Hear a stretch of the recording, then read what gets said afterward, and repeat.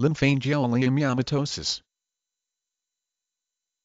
Lymphangioleiomyomatosis, a lung disease characterized by an unusual type of muscle cell that invades the tissue of the lungs, including the airways, blood vessels, and lymph vessels. Over time, these muscle cells form into bundles and grow into the walls of the airways and blood and lymph vessels, causing them to become obstructed. Although these cells are not considered cancerous, they act somewhat like cancer cells in that they grow uncontrollably throughout the lung. The muscle cells in time block the flow of air, blood, and lymph to and from the lungs, preventing the lungs from providing oxygen to the rest of the body. Lymphangioleiomyomatosis is pronounced lim, fan g, o, leo, mio, ma, to cis. Lymph and angio refer to the lymph and blood vessels. Leiomyomatosis refers to the formation of the bundles of the unusual muscle cells. Lymphangioleiomyomatosis is abbreviated LAM. Cause LAM can occur in association with tuberous sclerosis due to mutations in the tuberous sclerosis complex TSC genes TSC1 or TSC2 genes. Sporadic isolated cases of LAM typically result from two somatic mutations in the TSC2 gene,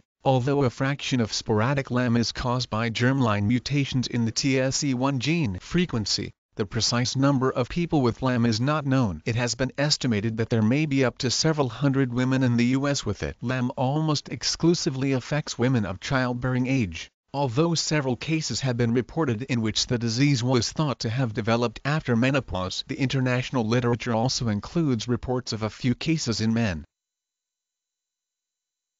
L Y M P H A N G I O L E I O M Y O M A T O S I S.